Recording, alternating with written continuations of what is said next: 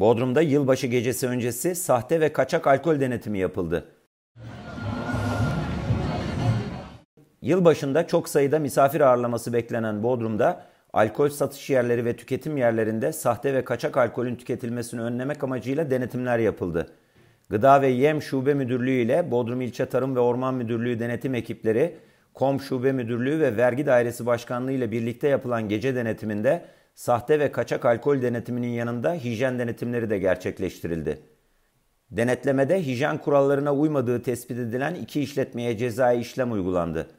Diğer işletmelere ise hijyen konusunda gerekli uyarılar yapıldı. Denetimlere katılan İl Tarım ve Orman Müdürü Barış Saylak, denetimlerin ardından yaptığı açıklamada Bodrum ilçemizde alkol satılan ve tüketilen işletmelerin denetimlerinde bize destek olan Bodrum İlçe Emniyet Müdürüme, ekibine, Bodrum Vergi Dairesi Müdürlüğü'ne ve yıl boyunca gıda denetimlerinde görev alan gıda denetçisi meslektaşlarıma özverili çalışmalarından dolayı teşekkür ediyorum dedi.